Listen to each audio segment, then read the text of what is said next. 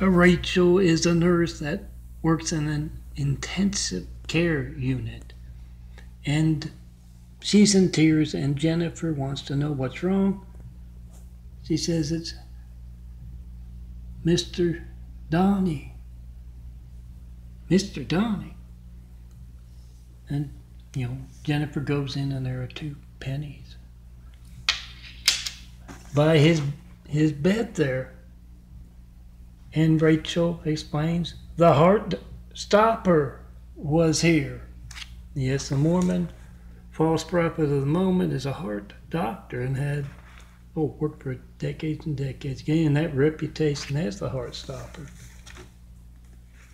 And she said, You know what they do with the pennies? It's for the morticians to put over the eyes. It's his calling card. Remember the place uh, Mormons beware when his missionaries come to call.